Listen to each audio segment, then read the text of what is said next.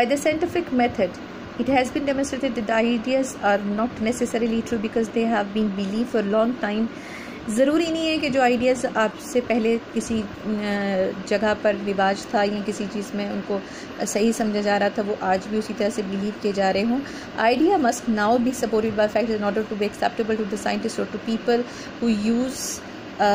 the scientific method बिल्कुल उसी तरह से कि जैसे पुराने ज़माने में अगर आप uh, अपनी uh, अम्मी से दादी से नानी से पूछें तो वो आपको बताएँगे कि जी उनको छत पर नहीं जाने दिया जाता था उनको फूल नहीं लगाने दिए जाते थे गजरे नहीं पहन सकती थी और अगर छत पर जाना होता दोपहर के वक्त में तो उनको कहा जाता कि जी दुपट्टा लेकर के जाएँ सर पर तो क्यों किया जाता था? आज आप उनसे पूछते हैं क्यों और वो आपसे ये कहेंगे कि हमने तो कभी कहा नहीं कहा था कि क्यों। हम तो जैसे कहा जाता था उसी तरह से मान लेते थे और उसमें बहुत सारी चीज़ें इस तरह की इन्वॉल्व थी कि जी आ,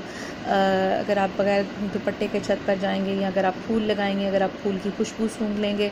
तो कुछ भी गलत हो सकता है। तो आज अगर किसी बच्चे को ये कहा जाता है तो वो बच्चा आगे से उसको सवाल करता है कि जी क्यों? और आपको उसकी कोई रीज़न बतानी पड़ती है एक फैक्ट बताना पड़ता है जो वाकई में उसके साथ रिलेटेड हो। तो ये साइंस ने जो है क्या किया है कि जो जनरेशन है आज की उसकी उसके जहनों को खोल दिया है। आज कोई भी चीज़ किसी भी आइडिया को आप उस वक्त तक से एक्सेप्ट नहीं कर पाते हैं जब तक उसके पीछे कोई सॉलिड रीज़न मौजूद ना हो। The discoveries of scientist have help people develop an attitude of open mindedness ये ओपन माइंडेड बना दिया है लोगों को साइंस ने।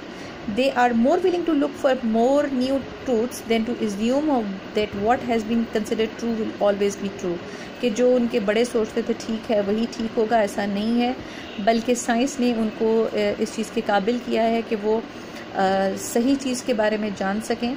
Because people have had to change their old ideas as a result of new discoveries made by scientists they are less likely to accept conclusions as final कि आज भी अगर साइंटिस्ट किसी चीज़ पर नतीजे पर पहुँचते हैं किसी कंक्लूजन पर पहुँचते हैं तो that is not considered final उसको भी फाइनल नहीं समझा जाता और ये इस चीज़ के लिए तैयार रहा जाता है कि आज अगर साइंटिस्ट इस बात पर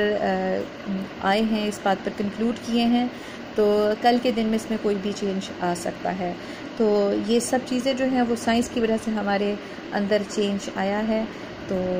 this is all about our essay तो अभी हम इसके एक्सरसाइज को देखते हैं।